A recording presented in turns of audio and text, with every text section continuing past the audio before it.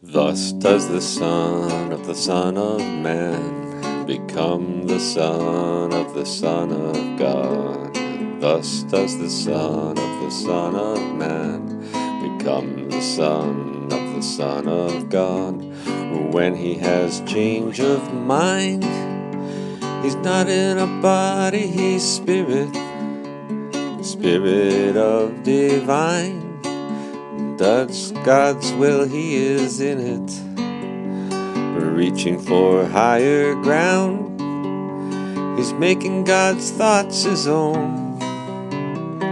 Now He becomes His representative as He finds that He has grown.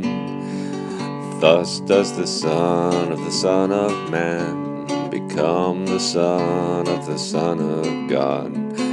Thus does the Son of the Son of Man become the Son of the Son of God. Recognition is the spark that people will understand, for it's carried even in the dark and passed from hand to hand.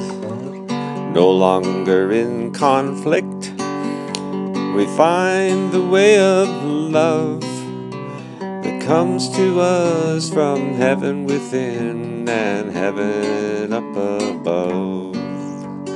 Thus does the Son of the Son of Man become the Son of the Son of God. Yes, thus does the Son of the Son of Man become the Son of the Son of God. Become the Son of the Son the Son of God.